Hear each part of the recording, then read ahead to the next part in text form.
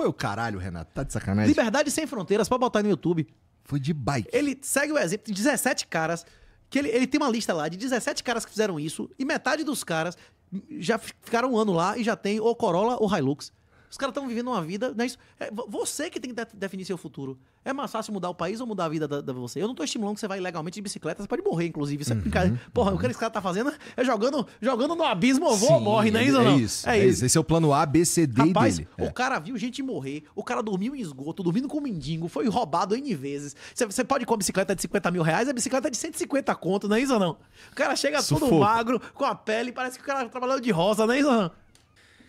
Esse menino de 14 anos com saúde aí, ele vai ter acesso à educação e às possibilidades de se desenvolver? A educação real, ela está na internet. E nas pessoas que têm educação real. A educação real não está mais nas universidades. Senão não existia esse mercado bilionário aí de vender curso pela internet. Hoje em dia, o Tem que um as universidades e as escolas vendem não é educação, é instrução formal, que é oposta à educação. É algo que degenera a pessoa e suas habilidades.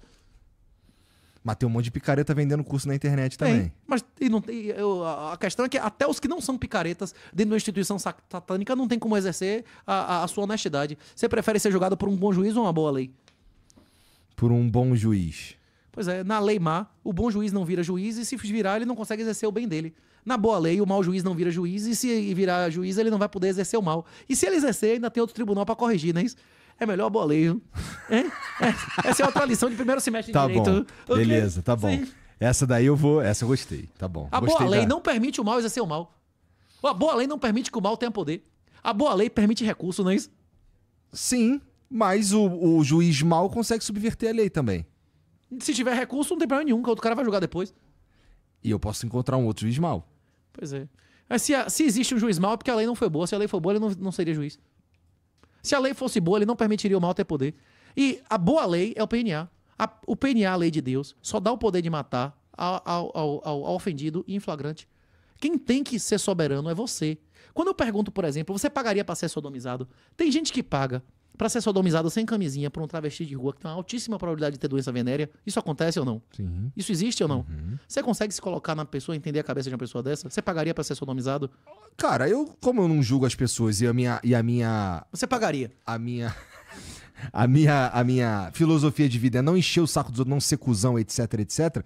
Eu não me, não me importa o que o cara, o que ele tá Também não me importa, não. Agora, Agora, me- eu consigo imaginar que existem várias razões. Por exemplo, o cara pode ter vivido, ele ser homossexual e ter se vivido reprimido tal. a vida isso, toda. Isso aqui, o isso, cara eu consigo entender isso, que é possível. Exatamente. É isso. Então você compreende que você não, você não é capaz de apenas olhando pra uma pessoa compreender as razões da, das ações dela. Então você compreende que nós não temos que impor nada aos outros do dinheiro deles e nem da vida delas. Nós não devemos interferir em cotas racistas e nem aumentar o tamanho do Estado. Aumentar o tamanho do Estado e impor cotas racistas é definir o que é melhor para os outros e não para nossa própria vida. É vedado pelo Deus, a parábola dos trabalhadores das vinhas. É satânico. Isso é arrogância fatal. Você achar que você sabe mais da vida do outro do que o outro, não é isso? Concordo, concordo, concordo.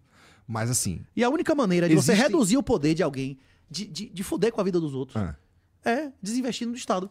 É a única maneira eficaz de fazer isso. Existem outras maneiras eficazes, mas demanda muito mais estudo. Hoje, a maneira eficaz, a única oposição real, fácil, que é acessível, até o cara que tem um real, você compra um real de Bitcoin na Bipa, é o Bitcoin.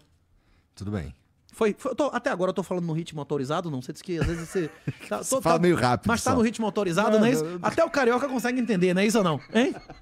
Olha, entender eu entendo. Agora, concordar, eu concordo em com algumas coisas. Eu não sei se eu gosto do. Assim, eu não olho pra vida do jeito mesmo jeito que você olha. Portanto. Ninguém olha do mesmo então, jeito de ninguém, mais ninguém mais. não, né? não, mas assim, você, quando você fala.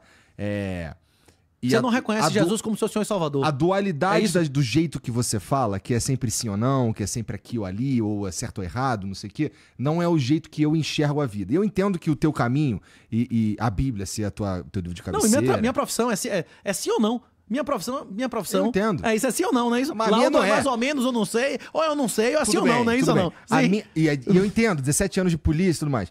Mas assim, a minha vida é um seguir um outro caminho. E a maioria das pessoas não seguiu o mesmo caminho que você.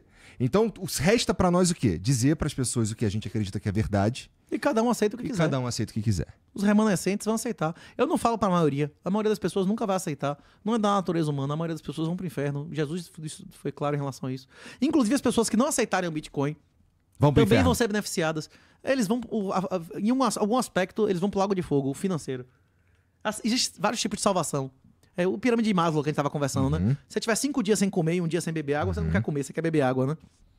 Quando você não tá bem psicologicamente, quando você não tá bem financeiramente, é muito difícil que você esteja bem psicologicamente. Você tava falando que o cara em Cuba não se preocupa com política, a preocupação do cara é comer, não é isso? Sim, aham. É isso. Se Tem isso cara- no Brasil também, né? Isso. Rapaz, bem menos, viu? Sim, é sim, bem difícil. menos, bem Rapaz, menos. eu, eu, eu trabalho em lugares. Eu suponho. Eu trabalho em também. lugares que não. Eu, eu conheço pessoas, eu já recolhi defunto e tal, Hum. em lugares que. Não é que a família não tem energia elétrica, não. É que o cara nunca morou numa casa que tinha energia elétrica. Não é isso? Nossos avós nasceram em casas que não tinha energia elétrica. Nossos pais nasceram em casas que não tinha televisão. Tipo assim, é, isso, isso é muito recente, mas parece que em poucos anos parece que a gente tá em outro Uhum, mundo, não é isso? Tipo assim, é, para eles a verdade é assim, assim, não é não. E os nossos ancestrais também sim, assim, é não. O certo era o certo, o errado era errado durante milhares de anos. Eles compreendiam que nem um tio, nem uma vírgula da lei vai ser modificada até o fim dos tempos, né? Mas, mas, mas voltando ao que a gente estava conversando. É, eu concordo com isso.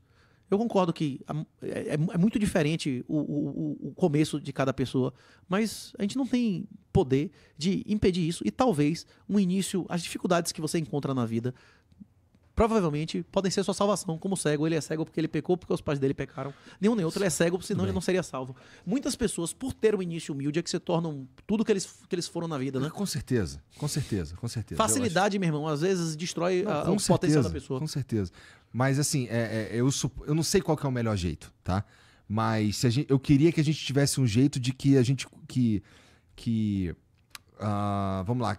Que a sociedade não precisasse mais de cotas raciais, porque a gente chegou num patamar que todo mundo consegue ter pelo menos uma educação de base. Nunca vai acontecer. Eu sei, pois é, nunca a vai educação depende. A educação é papel da família e não do governo. Você não tem como garantir que todo mundo vai ter pai e mãe. Isso aí já acabou. Tem pessoas que não têm condição mental de, ser, de ter uma educação de base. A gente tá vivendo epidemia de doença mental. A maioria das pessoas hoje, até os 40 anos, se você fizer um diagnóstico, se você fizer um exame mínimo, tem de algum diagnóstico. Ou depressão, agora metade dos guris é TDAH, não é isso?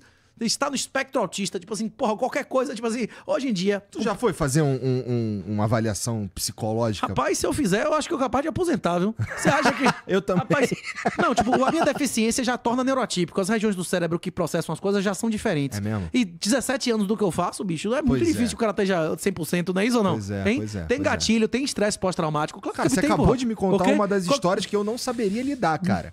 Não, isso foi, tipo, o primeiro ano. Foi logo no início que eu fui trabalhar, quando eu trabalhei em Salvador, em acidente. Acidente veículo é o pior, que é só inocente. Vagabundo é menos pior, não é isso? Você prefere buscar um vagabundo ou inocente? Sim, porra. Até um policial, que o cara entrou aí porque ele quis, não é isso ou não? O cara sabia que ele tá indo pra guerra, né? Hein? Pois é. É, um aci- acidente é foda mesmo. Hoje E- tu lida mais com o quê? Com crime ou com acidente? Não, eu tô, no, eu tô num lugar que é clínica geral, eu faço tudo. Mas se fosse só acidente, era pior, como era antigamente, não é isso? Só inocente, né? Hein? Mas quanto tempo de polícia que tu tem que ficar lá? Rapaz, eu não faço a mínima ideia. Eu tô batalhando aí. Se eles me autorizarem a tirar uma licença não remunerada, eu me afasto uns seis anos aí, viu? É. Não tenho mais saúde, não. É muito difícil, velho. Se, É tu isso. pudesse, se tu pudesse sair do Brasil, tu ia pra El Salvador? Tu ia pra onde? Eu não conheço El Salvador. Não? É, Mas eu- tu tem informações sobre como funciona o estado lá, porque sabe, por exemplo, que eles adotaram a Bitcoin. Tem um cara que, inclusive, eu recomendo que vocês, que vocês sigam aí. Ah. Eu, eu tô dando um exemplo aqui. Tá. Um cara que é o Salvador, Hugo Tuga. Hugo, que mora em El Salvador. Rapaz, um cara, é, por exemplo, esse, eu mantive contato com o Hugo, até falei de Becas aqui. Becas se retou porque eu fui falar com o Hugo que o Hugo apoiava. Ele é um, ele tem algumas opiniões que eu considero extremamente erradas em relação a Israel. Assim, ele, tipo assim, coisas que eu considero erradas. Mas ele é um cara que eu não vou deixar de falar com ele. Inclusive, eu fiz um episódio com o Hugo dizendo, rapaz, você tem que parar de fazer piada de negócio de gás, de extermínio de judeu, isso é imoral. Eu tenho que, eu tenho que tentar educar o cara. Eu não, não vou bloquear o cara, porque o cara tem comportamentos, tipo assim, que. Que eu, se ele insistir nisso, eu posso, com o tempo, me convencer que eu, que eu tenho que deixar de falar com ele. Mas se uma pessoa do seu círculo de relacionamento começa a fazer merda, você tem ou não a, a obrigação de dizer, ó, você tá agindo errado. Com certeza. Nós, isso eu, não acho é que nossa é a mo- guerra. eu acho que é minha Você tá obrigação ofendendo como pessoas, você tá humano. ofendendo pessoas que são suas aliadas, não é isso? Você só vai perder com isso. Você, esse comportamento seu, ele não- você não ganha nem espiritualmente, nem moralmente, nem financeiramente. Você tá se destruindo com isso. Você não tem que dizer isso pro cara ou não? Total Hein? tem, porra, 100%. Você é uma pessoa de mérito, eu preciso que você me seja útil, eu preciso continuar ouvindo você, mas se você continuar com isso, eu não vou poder, não é isso ou não? Hein? hein? Sim. É. Bom, é, tem um monte de pergunta pra gente aqui, cara. E tu já tá falando que tá cansado. Bom, já são nove e meia, estamos aqui há duas Tem, horas tem um brother, inclusive, que foi comigo no Monark. Você, você viu o episódio que eu fui no Monark? Aham. O brother que foi comigo no Monark tem um canal O cara tem 30 e poucos anos, viu? Passou por, por- por- várias falsas acusações, perdeu tudo com o de casamento aqui. Se lascou, se lascou. E por causa das falsas acusações, ele nunca vai conseguir um visto. Esse cara pegou uma bike e foi pros Estados Unidos. Eita. Foi o caralho, Renato. Tá de sacanagem? Liberdade sem fronteiras, pode botar aí no YouTube. Foi de bike. Ele segue o exemplo de 17 caras, que ele, ele tem uma lista lá de 17 caras que fizeram isso, e metade dos caras já fi- ficaram um ano lá e já tem ou Corolla ou Hilux. Os caras estão vivendo uma vida. Não é? É você que tem que de- definir seu futuro. É mais fácil mudar o país ou mudar a vida da, da você? Eu não tô estimulando que você vai ilegalmente de bicicleta, você pode morrer, inclusive. Isso é brincadeira. Porra, o que esse cara tá fazendo é jogando, jogando no abismo ou vou ou Sim, morre, não é ele- isso ou não? É isso. É isso. Esse é o plano A, B, C, D Rapaz, dele. o É. cara viu gente morrer, o cara dormiu em esgoto, dormindo com mendigo, foi roubado N vezes. Você- Você pode ir com a bicicleta de 50 mil reais, a bicicleta é de 150 conto, não é isso ou não? O cara chega todo Sufoco. magro, com a pele, parece que o cara trabalhou de rosa, não é isso ou não? Pois é, ele tá, ele tá, ele tá, ele tá encarando as dificuldades dele, fazendo o que ele pode. Se der certo, ele vai receber, ele tá assumindo risco, né? Ele tá sendo homem, ou não? Hein? Tá. Tá.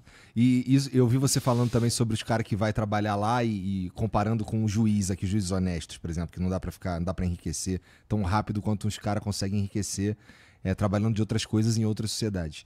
Eu, eu encontrei um cara em Boston semana passada e o cara ele chegou lá, tem três anos, ele, ele tava no Uber, tava dirigindo Uber. É, e hoje ele já tem uma empresa que tem alguns carros no Uber lá e já tá num patamar completamente diferente do que ele tava aqui.